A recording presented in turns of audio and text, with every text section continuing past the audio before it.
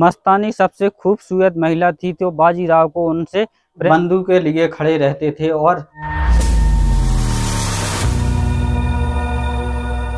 दोस्तों नमस्कार आपका बहुत बहुत स्वागत है हमारे चैनल पे। आज हम बाजीराव मस्तानी की प्रेम कहानी को लेकर दुनिया में बहुत ही आप लोगों ने भी पढ़ा हो, होगा इतिहास में।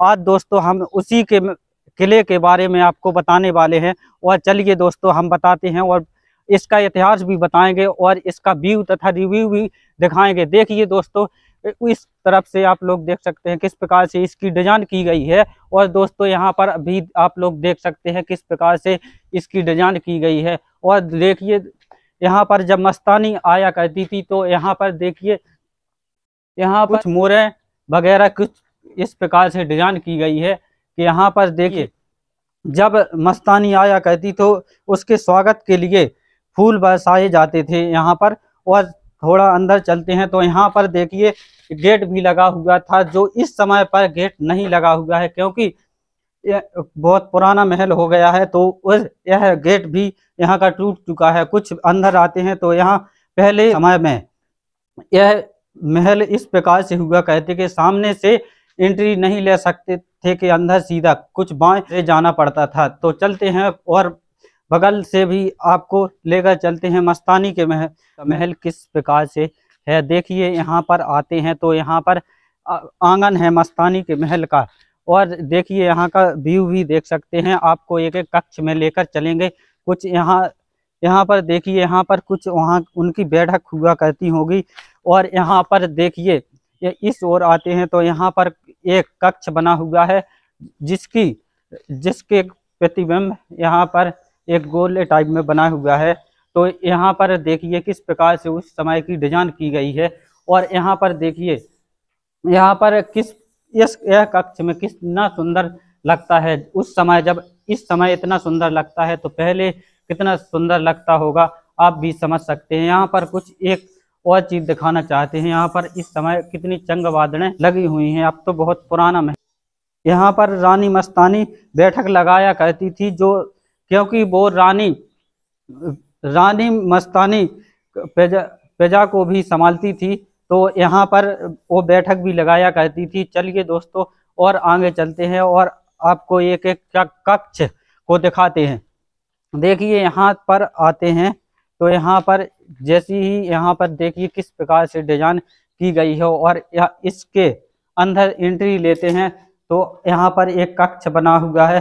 शायद में यहाँ पर रानी रही थी और यहाँ पर, देखिए यहाँ पर, इस साइड देखते हैं तो मस्तानी गया। किचन भी आपको देखने को यहीं पर मिल जाती है, जहाँ पर वो दास दासियाँ होंगी, वो खाना बनाया करती होंगी। दोस्तों, चलते हैं और आगे दिखाते हैं आपको। यहाँ पर भी कुछ ये एक गेट था यहीं पर, जो अब बंद कर दिया गया है।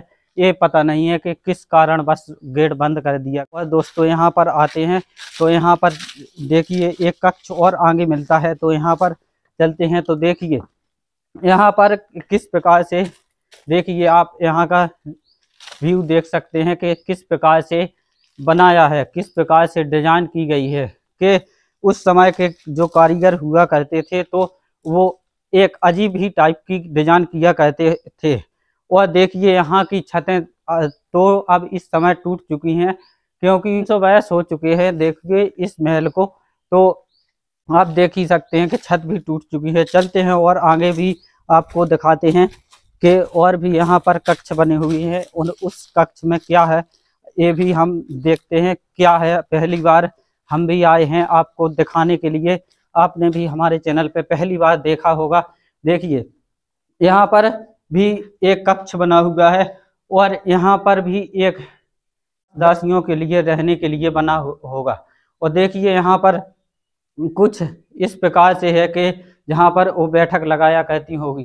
देखिए यहाँ पर यहाँ की डिज़ाइन किस प्रकार से की गई है छत की जो इस समय पर इस प्रकार की डिज़ाइन नहीं हुआ कहती है। चलते हैं और आगे आगे चलते हैं तो और यहाँ पर और आगे चलते हैं तो देखते हैं क्या क्या है और आगे देखिए यहाँ पर देखिए यहाँ पर कुछ सीढ़ियाँ लगाई गई हैं। ऊपर क्योंकि चार मंजिला का महल चार मंजिल बना हुआ है। देखिए यहाँ पर आते हैं यहाँ पर थोड़ा और व्यू दिखाते हैं किस प्रकार से बने हुए हैं। देखिए यहाँ पर देखिए यहाँ की दीवारें टूट चुकी हैं। जब जब मस, मस्तानी महाराजा छत्रसाल जब आए होंगे और बनवाया था ये महल तो उसी समय का है तो देखिए यहाँ की दीवारें भी टूट चुकी हैं।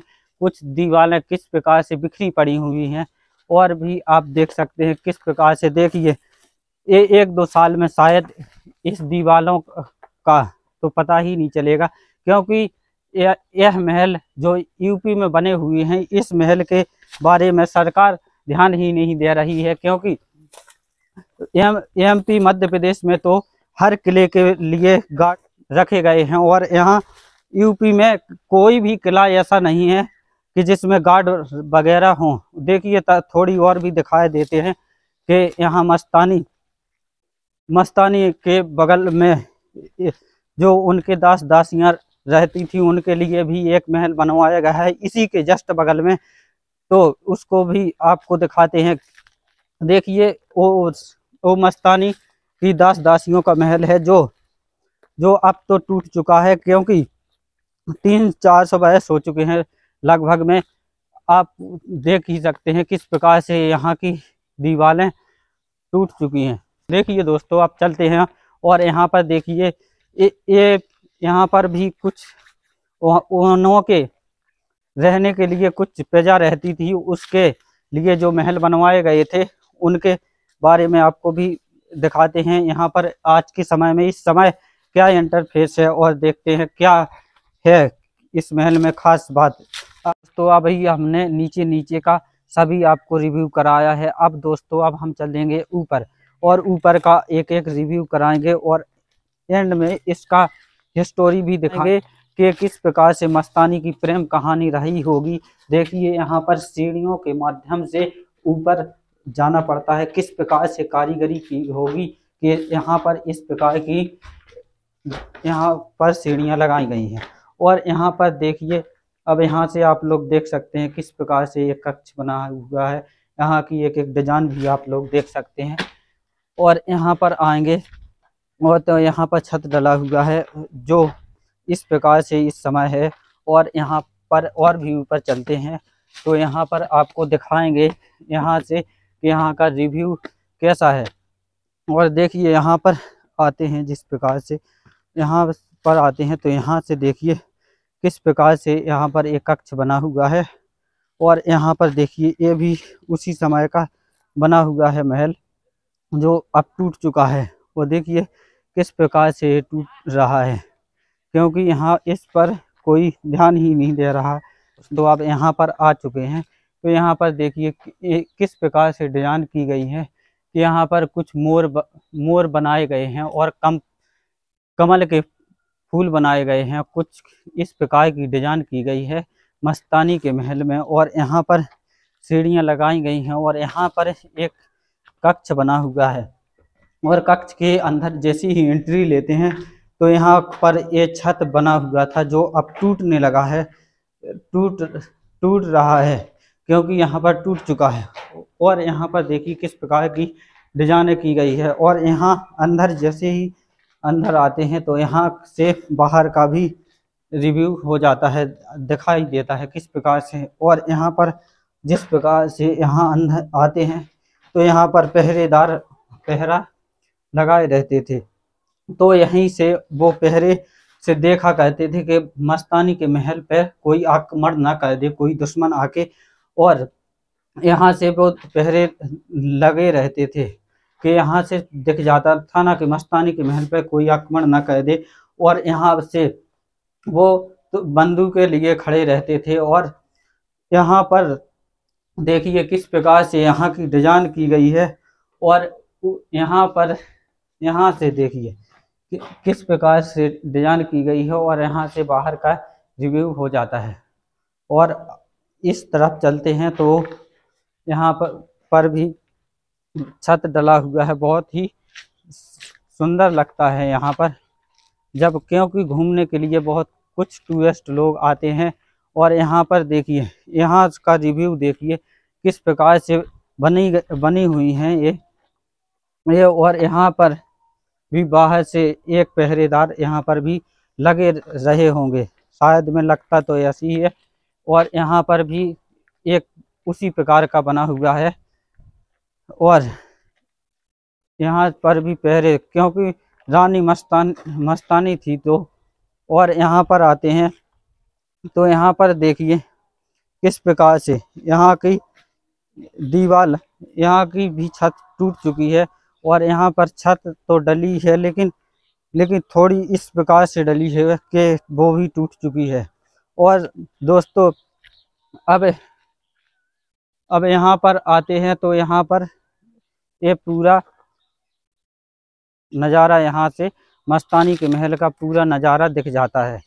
और दोस्तों अब मस्तानी के महल की हिस्ट्री के बारे में बताते हैं। मस्तानी महाराजा छत्रसाल की पुत्री थी जि, जिसका जन्म 1700 ईस्वी में हुआ था और 1740 ईस्वी में उनकी मृत्यु हो गई थी क्योंकि वो केवल 40 वर्ष ही जीवित रही और एक बार बाजीराव आए यहाँ इस किले में घूमने के लिए तो उन्हें मस्तानी को देखकर, उन्हें एक देखकर ही प्रेम हो गया था। तो उन्हें प्रेम होने के मस्तानी सबसे खूबसूरत महिला थी तो बाजीराव को उनसे प्रेम हो गया था। बाद उनकी प्रेम कहानी इस प्रकार से बढ़ी कि लोगों को उस समय देखने योग्य थी। और दोस्तों जब छत्रसाल लें तो महाराजा छत्रसाल ने उन्हीं की लिए ये महल बनवाया हुआ था। तो दोस्तों इस वीडियो को यही एंड कहते हैं। अगर वीडियो थोड़ा सी भी पसंद आए तो इसे लाइक करना, चैनल को सब्सक्राइब करना। जय हिंद, जय भारत।